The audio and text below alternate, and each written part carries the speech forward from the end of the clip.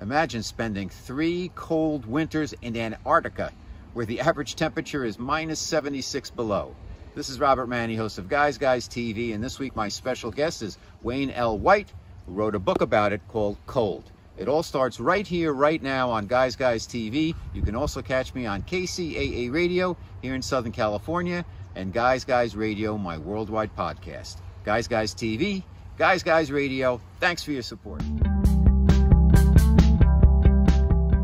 Okay, Guys Guys Radio, the interview portion of our show. And today we're going to talk about the cold, colder, and coldest. My special guest, his name is Wayne L. White. He's written a book called Cold Three Winters at the South Pole.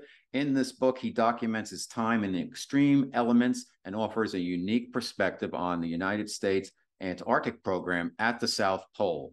Uh, Wayne's a veteran of the U.S. Marine Corps he served as a civilian contractor in these assignments uh, uh, and also other assignments around the globe for more than 25 years. And he had spent, once again, three years in the Antarctic program at the South Pole. That means winters long winters, short summers. He's conducted solar expeditions to New Guinea, the Amazon, Africa. He's a member of the Explorers Club of New York and the Adventure Club of LA and received the 2020 Adventure of the Year Award from the Adventures Club in LA. He's an amazing guy. It's a really terrific story.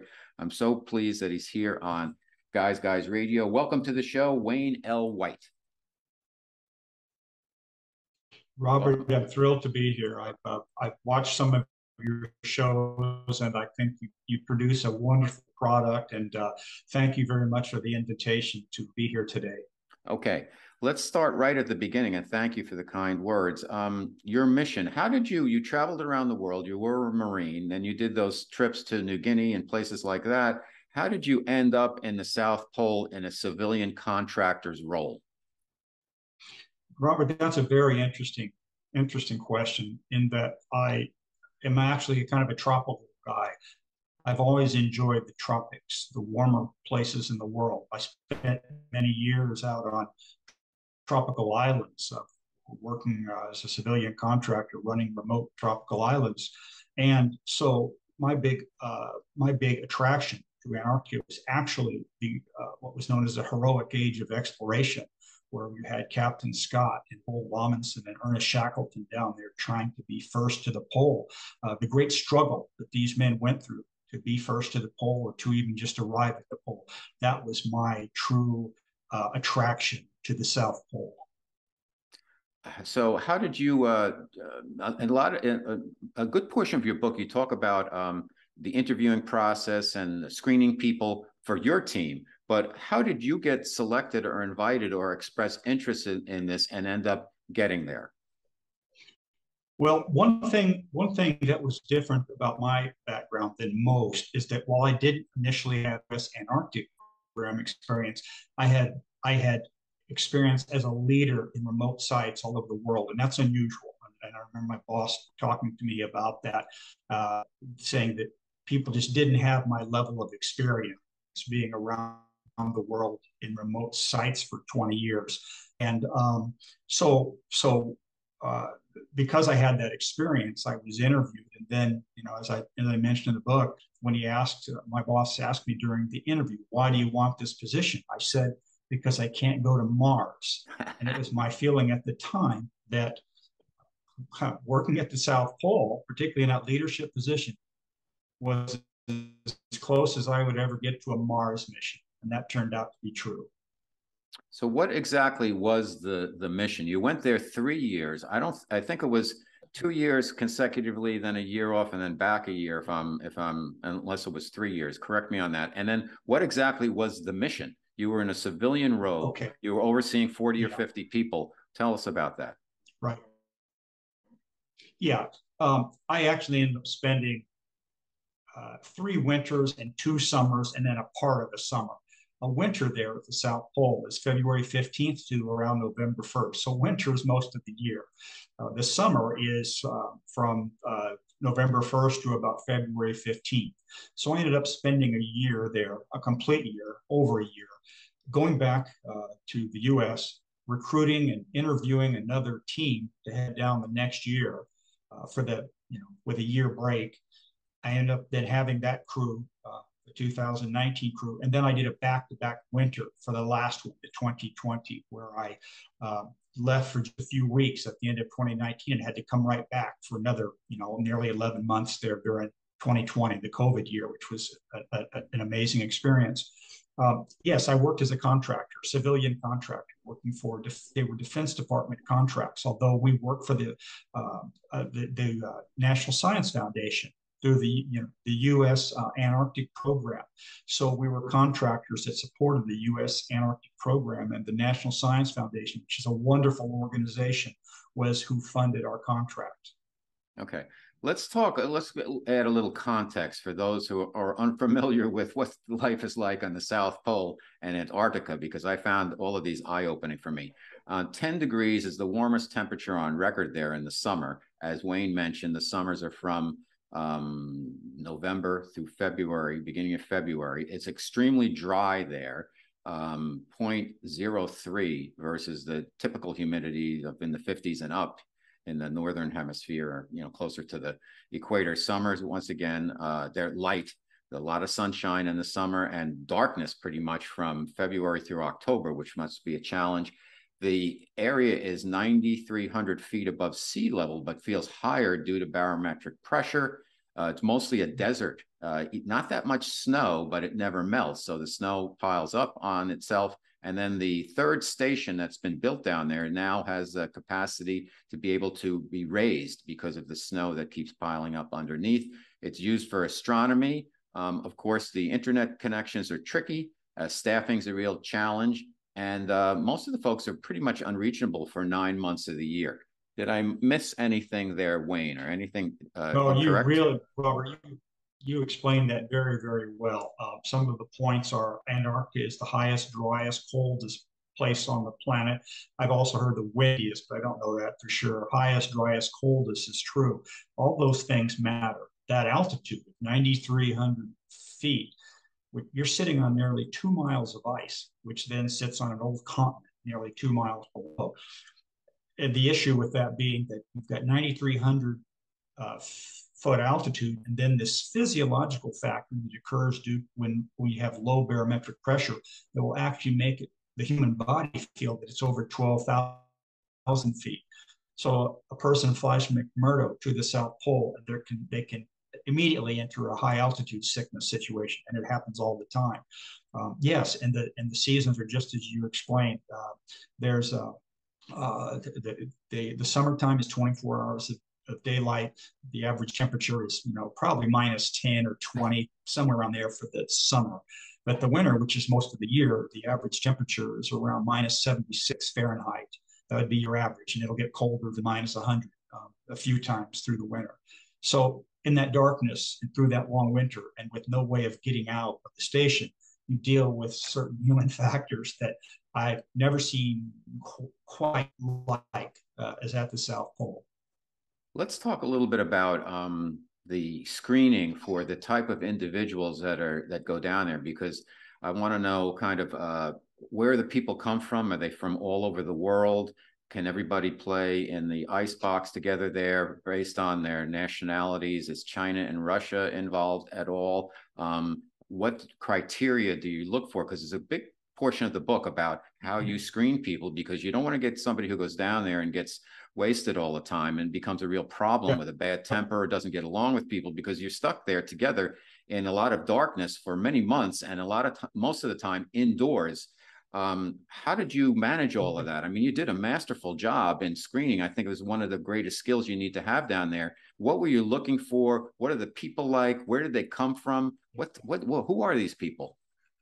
Okay, that, that is a fantastic question. And I put a lot of that in the book. The book's a primer. Anybody that wants to join the U.S. Antarctic program, there's nothing better out there that gives what I think is straight information on getting into the program, what you face, what we're looking for, and um, maybe answers to a couple of questions. But uh, the the thing is, is that it's the U.S. Antarctic program, so it is confined. U.S. citizens will be the majority of the people that are working on the Antarctic support contract. The eight scientists that go down can vary in nationality. We had Germans, Japanese. Um, let's see, I'm sure there was Canadian. Uh, there's a couple more. We didn't have Russians. We didn't have Chinese.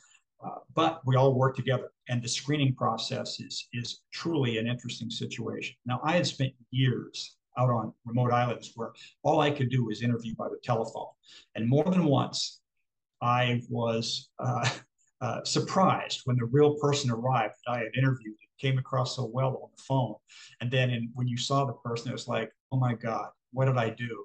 Um, uh, phone is just not enough. And so what we found after one particularly bad year that occurred, not a year I was there, but a year prior, um, you had to have a face-to-face interview in Denver to be both primary or even an alternate. We had you had to actually face a panel face to face. And what was cool about the panel was you had uh, four or five people most all had great Antarctic experience. Most all had wintered in the past. And then we would look for certain traits in people. Some, as I mentioned in the book, and some of it's kind of humorous, you know, uh, we were looking for people who could coexist, peacefully coexist, but also remember this. Now, I've interviewed for years. And one thing that I've learned from all my interviewing is that person sitting on the other side of the table wants something. They want a job. They want a job. And in this case, they want to go to the South Pole. It's very hard to get to the South Pole and very expensive. You want to go as a tourist. So I have something they want. Many people will say about anything to get that job. You have to go into it kind of knowing that, that they're going to be the most pleasing person that you'd ever want to meet across the table with a suit and tie on or a nice dress in that Denver office. Later, in the darkness of winter, another person might emerge. And I saw that a few times, and I, I, do mention that in the book, some humorous situations with that. But that was the beauty of having a panel. And I do mention in the book that one thing that my first year was excruciating for me to interview my crew members because I had not been there. And I could talk about where I'd been in the world, but I had not been to the South Pole. So when that crew member asked the panel, what does minus 100 feel like? They got a blank stare from me because I had no idea yet, and it was excruciating to be on that edge. But but having the panel and having and, and that was the first step. Now we used to have a psychological exam. We we found the psychological exam was was weeding out, was catching many of the mechanics were having a hard time passing the psychological exam. And so um, people we had one guy he, he liked nascar and he liked he lived in texas and he had already worked in mcmurdo for years and he fails the psychological exam. Now i don't know nascar texas he, he's already worked at mcmurdo and he fails this thing. So you know after we we, we and, and there's something with mechanics. Or something the way they work that i think made them look maybe like they were maybe a little um, not very sociable people during the during this this interview and the and the mmpi exam so we actually had that stopped, and what we put in place was a week of this team building, where we took them up into the mountains of Colorado, did building experiments, put them together, doing building things, doing things, working together, where you could watch people, and that to me was was was an eye opener. You know, it was much better to see people and how they work. Um, and I and I think and I found that team building to be uh, to be uh, something very valuable. Now, mention things like alcohol and, and you know, I, I mentioned it in my book. Alcohol is the bane of the remote sites. It's one of the biggest problems that you're going to have. Um, the U.S. Antarctic program is is no is is uh, you know case in point. And for the most part, I think people handle themselves very very very well. But the South Pole, I always made it clear with my crews that should we have a problem, an alcohol related incident, we could be the crew that got the pole dry. Because that's how they would have handled the U.S. Antarctic program. The NSF would have said, uh, you know, if we if there would have been a catastrophic occurrence no boost, at the right? South Pole, Cut it, off, right? it would have gone. Yeah, mm-hmm. just such as the North Slope in Alaska and there's a reason for it. So most people handled it well. Some people not as well, particularly in the Got summers. It. But here's the thing about that: it's hard to tell how much a person drinks. There's no test for it. So there's a thing on the on their medical form that says how much do you drink a week. And what we found was, if the guy said, "Oh, I have three beers a week," he had three beers a day. That was really how it worked. It, it, it people always under under you know. Uh, of course, they, they, will definitely you know not be honest with. It. So there's all kinds of things you do, but that team building experience, and then also you put them through a fire training, which is intense with with going through a, a fire facility where they put you in a fire chamber and get to feel real heat wearing bunker gear because you are the fire department, and then also a medical training. And so by the time you deploy, you've seen a lot of Okay. Oh, Wayne Wayne L. White, my special guest on Guys Guys Radio. The name of the book is Cold: Three Winters at the South Pole. I guess our listeners out there would be asking themselves, what are what were the conditions? I mean, there's so many questions, but what were the con- what was the day to day life like? What did you know food? How did you deal with waste? How did you deal with things like music, entertainment, so people weren't crawling up the walls because you're in the dark, you're in inside most of the time. I want to get to you shortly, where you went out outside just about every day, which I think is great and mm-hmm. fascinating. But just from a logistics standpoint, how did kind of uh, people play in the ice box together there? Yeah, well, the one good thing, good or bad depends how you look at it, is that the summer crew, winter crew is only around 42 people the station can hold 150. So it's a 50,000 square foot station. There's a lot of room. There's a lot of activities. Everybody gets their own room. It's a tiny little box with no, you know, we still have communal restrooms, but still there's the privacy that affords. Um, food is a huge issue. I write about that a lot in my book uh, because it's such a big issue. It always has been from the early Antarctic expeditions, from old Amundsen eating his dogs uh, to Captain Scott dying on his return journey, running out of his uh, biscuits and uh, pemmican and such. To this day, it's a huge issue. And I think that the chefs that work at the South Pole are masterful in making food that is all frozen. It has to be frozen, very little fresh, at least not in the winter. And they're masterful at, at, at producing great dishes. Of course, everybody's different with food. I'm a Marine. I can eat anything. That's one thing my wife does really like. Still, even after all these years, I will eat anything. But there are people who are finicky. Oh, that's another thing. You can. I used to ask that question during the you know during the interview process about people's food you know and then if they started telling me that they like the gluten-free something something something and they right. that's not a good thing for the south pole you don't have all those food options you'll be starving down there so food is, is a major thing the other thing that's most important that i thought was the activities uh, people, the pole people are interesting individuals. They have many, many interests. They're people, pretty eclectic bunch, different than what I worked around with the Defense Department contracts. Uh, and they have so many interesting facets and things that they do that we had a lot of classes. We had language classes. We had an astronomy class. We had my thing, which was called Adventure Movie Night with Wayne, where I'd show an adventure movie and I would talk about uh, what I knew about uh, the certain adventure, like you Scott's trip to the pole or Amundsen or things I knew about from other things through Africa, things like that. Uh, keeping people busy, keeping people having options, things to do, uh, sporting events, a lot of sporting events, I felt was a good thing. And, and we did a lot of that. So day to day life there, the station, we kept it kind of dark. I think people preferred it. The temperatures probably ran in the 60s. People liked it a little bit cooler, even cooler in some of the rooms. Um, you had frequent contact with the same people every day, all the time. You run into the same people, you eat with the same people, you do things with the same people, and um, you know it's something that you you have to uh, you have to uh, know that that's what your year is going to be like. Now, Wayne, you uh, spent a lot of time, I, I, admire you for this, not only just all, all, the things you've done, but particularly when you were in the South Pole. And I think it's a good part of your stories. You used to go outside every day, go for walks, go for runs, whatever. And a couple of uh, it's dark, I guess, during the winter. It's unbelievably cold.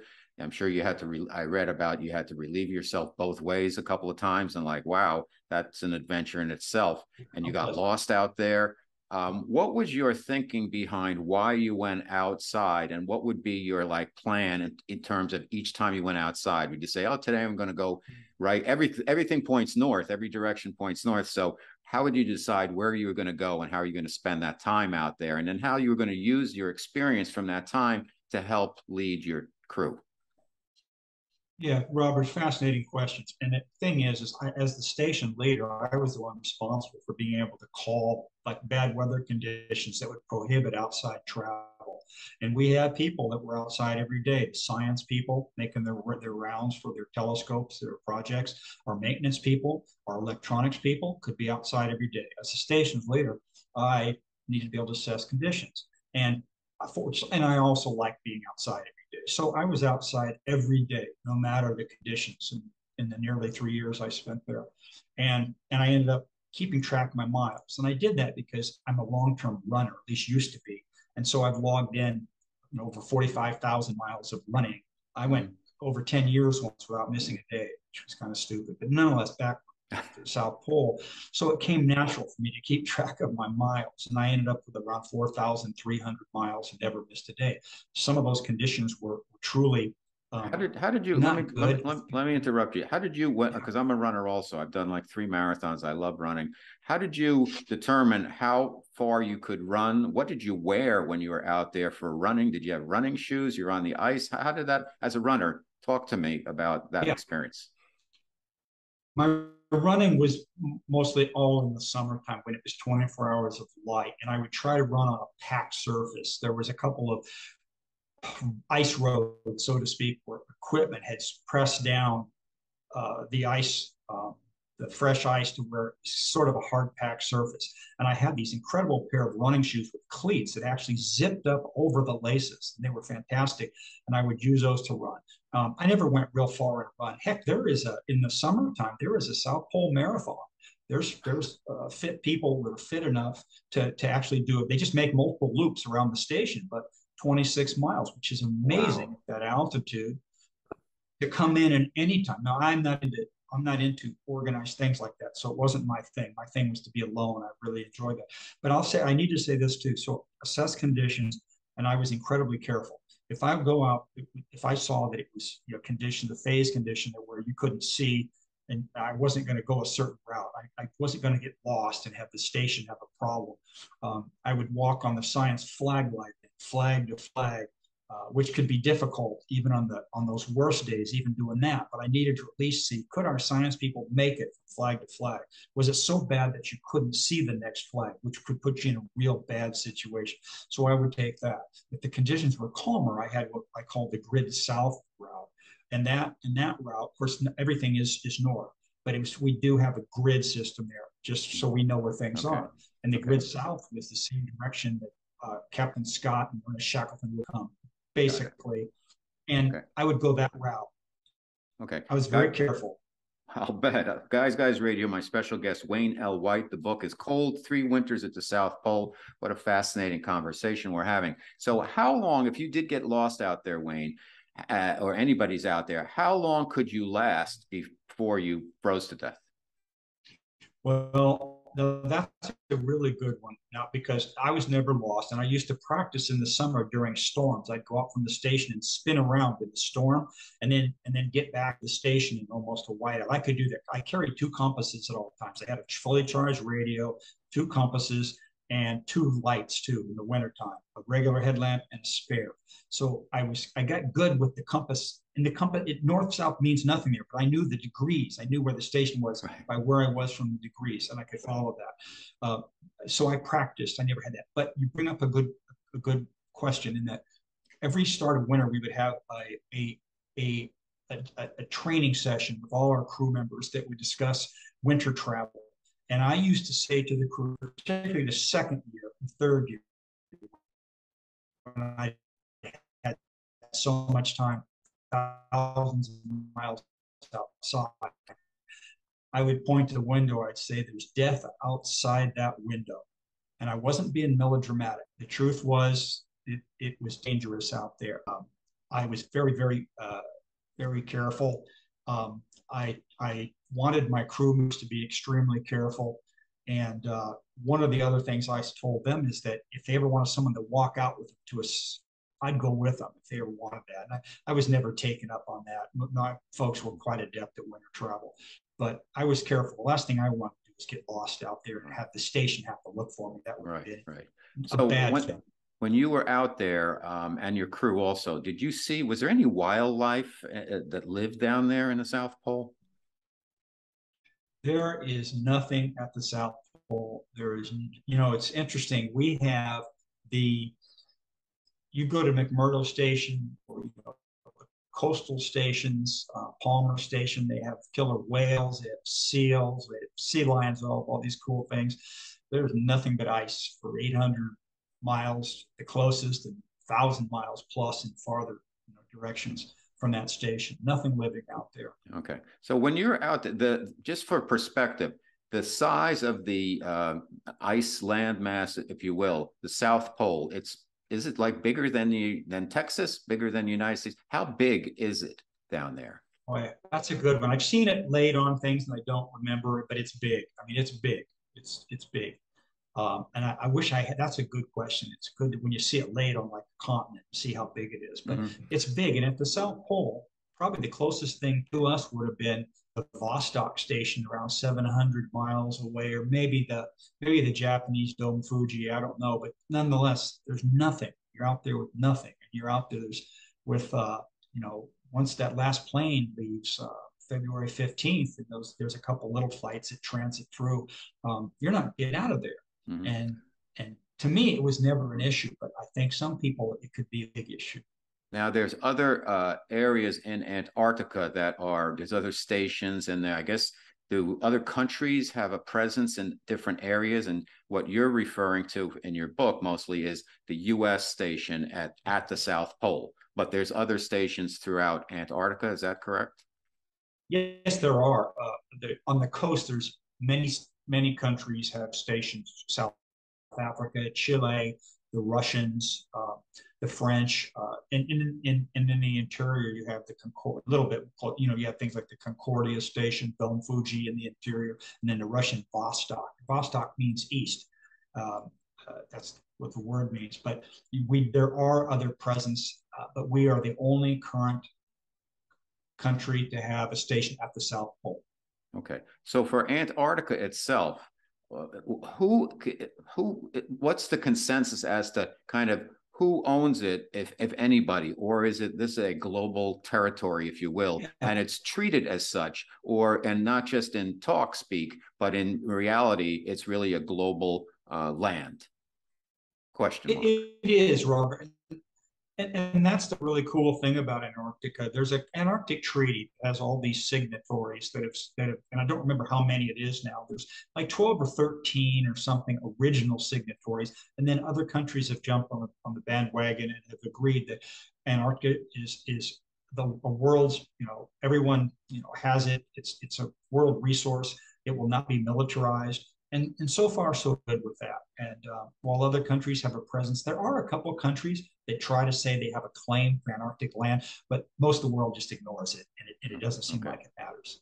Now, what exactly? I know there's levels of security clearance, and you were a Marine, and then you're in South Pole, and something's going on there. So, what actually can you talk about in terms of um, what were you guys doing? Uh, you know, what was the purpose yeah. of the mission? I mean, I know there's yeah. you know scientific research and this and that, but what what were you guys up to? As much as you can talk about.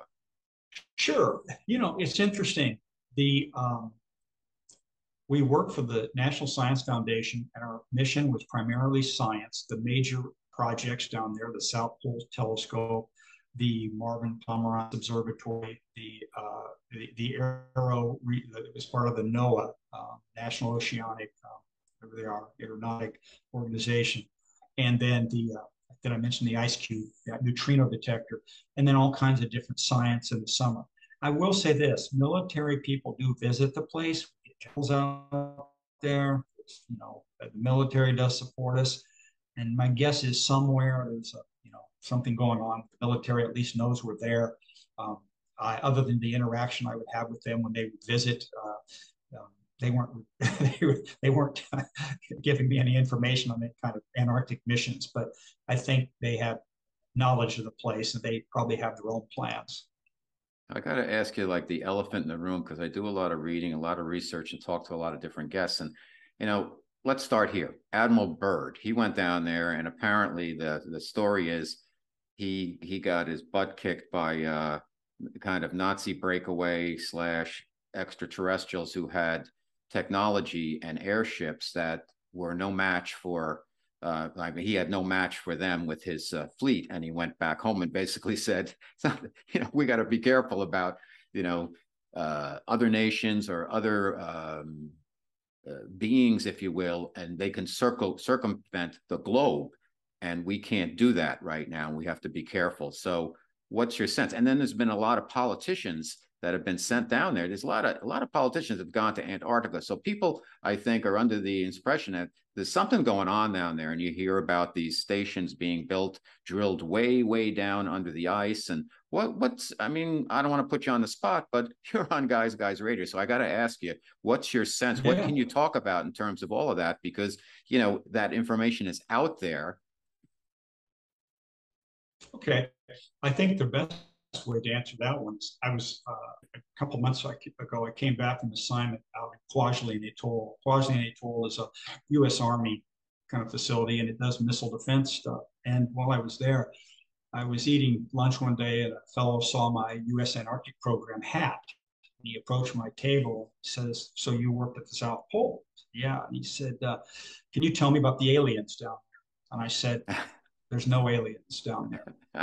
and then he said, okay, okay, can you can you really go ahead, really tell me about the aliens down there? and I said, I walked for four thousand miles outside in the winter, and I never had an alien encounter. And I saw this guy; he visibly kind of slumped at the answer. And then I said, "But if I were an alien, would I tell you the truth?" and he immediately he immediately perked up.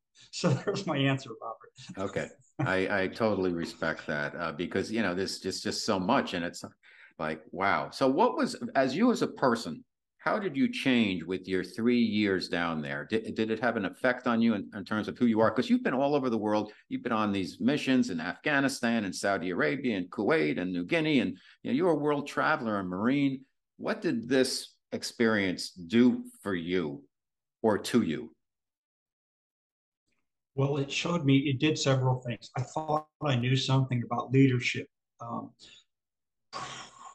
and I learned that there was some more to learn with that. Uh, there's always more to learn when it comes to leadership. And before my first winter, one of the people that was departing on that last flight, summer person, said to me when they were leaving, Wayne, get ready for the greatest adventure of your life. And I laughed. I laughed and I said, this won't be it. I was killed in the Amazon years ago. I've got a newspaper on the wall that says that. I've been around. Won't, it probably won't be the South Pole. I found out, and it was in its own way, it was a great adventure, particularly with the leadership angle. And I and I and I learned a lot about about people and about particularly uh, people that are in isolation how that effects. And I learned how important it was to be a good leader and to care about these people. And to be a good leader, one must care more about their people than they do themselves. That's a difficult thing for many people. It wasn't so much for me, but it, it is a difficult thing for any leader to come to that point where their life comes first. They matter more than you do. That's something that I that I that I learned, and it, I, it came home over and over and over. Um, I, I, I it put me in a situation of isolation, which I'd never been in quite like that. And I did find out that I like isolation. I like to be alone. Uh, I love being around my crews, but that that that that intense isolation down there showed me that I really do enjoy isolation, and I also do.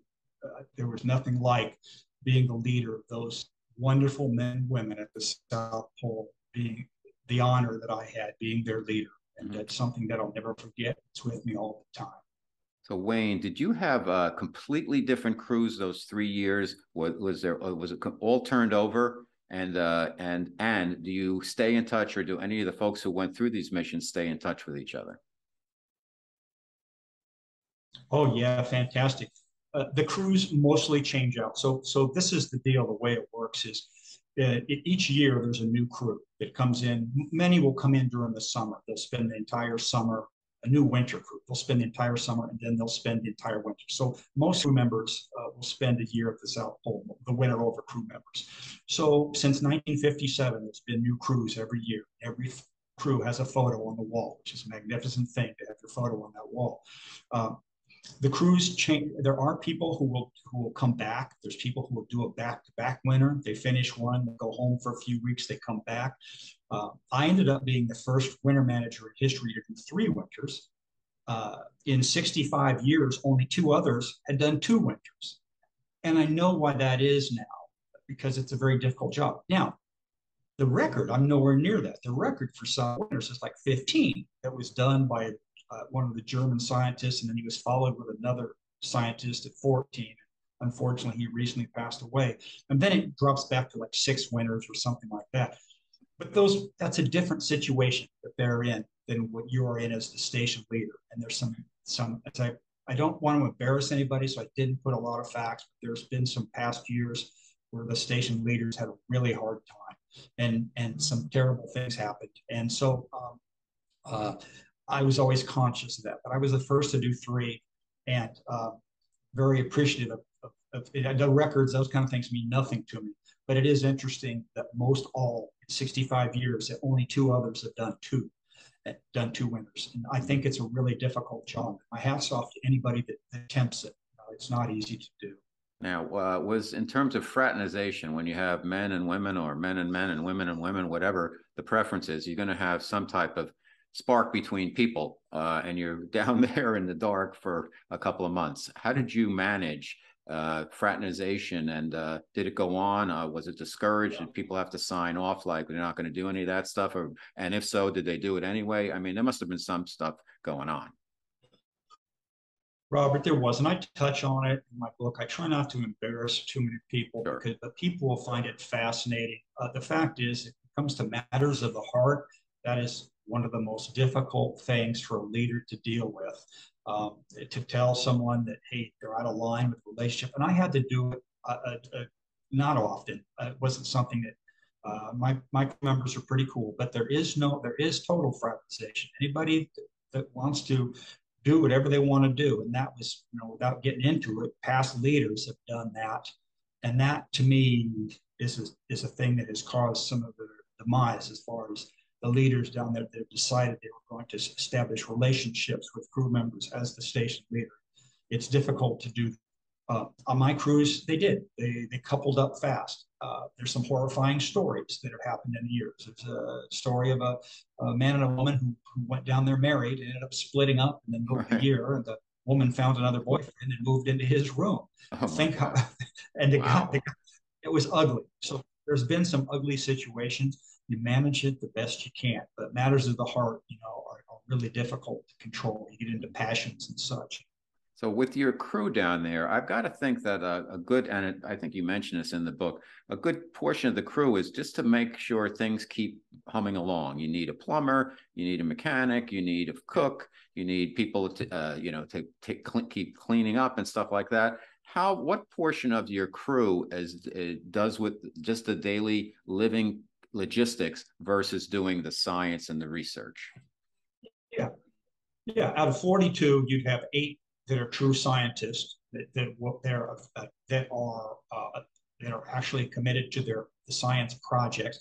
Then there's two others who are, who work with the, the main group, but they do science interface. They also do science. So you've got about 25% that are doing science, and you've got the rest of doing support duties, which very, very important down um, you know, the maintenance people that are keeping everybody alive, keeping the station operating, the medical people, the doctor, the PA, the nurse practitioner that are that are you know giving the best medical care they can, and dentistry if they have to as a medical doctor, something to be seen.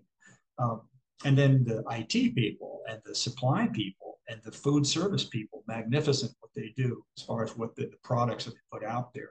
You know, so you've got this this captive little group. And you asked earlier about staying in touch. We do.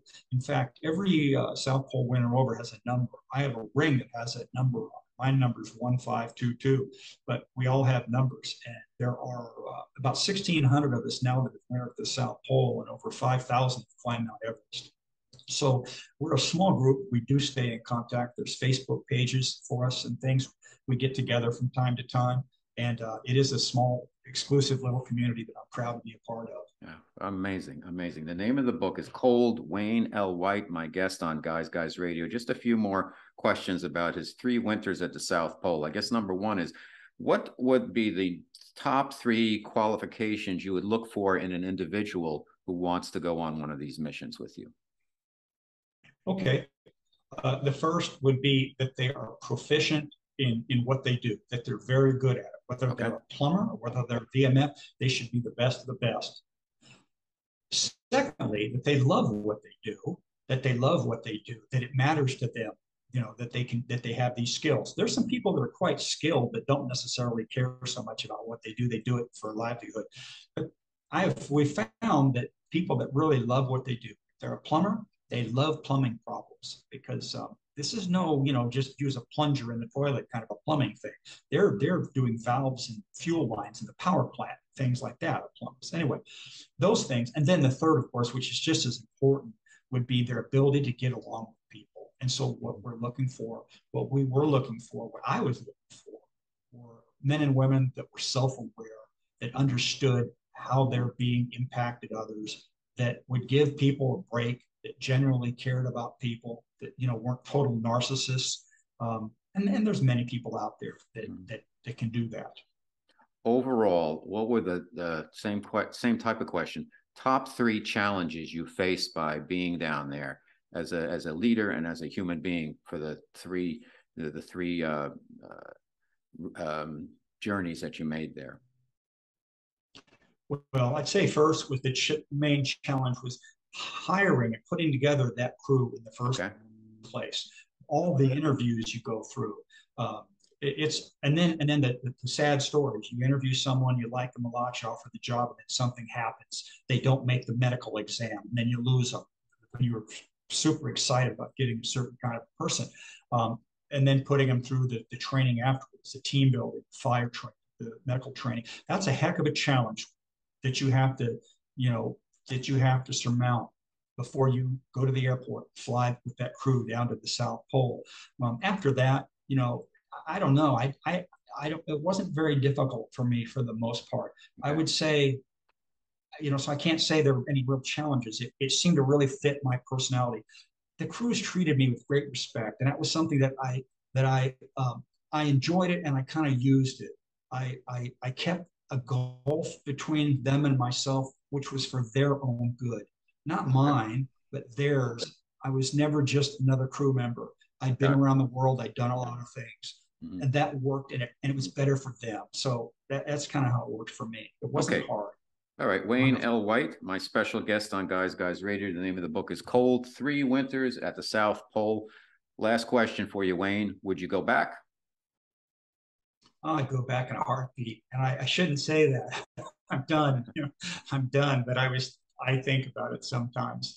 I've got all these other things to do now with the book, and I've got another book that I actually wrote prior to Cold that I put on, that I put kind of on the shelf because that's to do with my contracting work around the world. Fifteen hundred okay. people, contractors were killed in Iraq. They didn't come home in flag draped coffins and uh, that. So I'm working on that. Yeah. So where can uh, great job? Where can folks find out more about you and and your book? Well, you can certainly buy my book on on Barnes and Noble or Barnes and Noble and all the any of the other uh, you know book sites. It's on Walmart. It's on. Uh, okay. Great. The other big ones, all those things. But I'm I'm on Facebook and I'm my stuff is all public. So if you just Google Wayne White South Pole or Wayne White Explorer, a lot of kind of fun stuff comes up. I am not self promotional. I have to be with this book. In general, I don't like it, but I'm here today. All right. Well, thank you and great job and really interesting stuff. So, our special guest, Wayne L. White, thank you so much for being on Guys Guys Radio. You're a real guys guy. I got to tell you that. You're a man's man. Robert, it was, a, it was wonderful. Thank you very much for the opportunity. Thank you. If you enjoy the content and guests I bring you each and every week on Guys Guys Radio and TV. Please support us by subscribing to our channels. Thank you.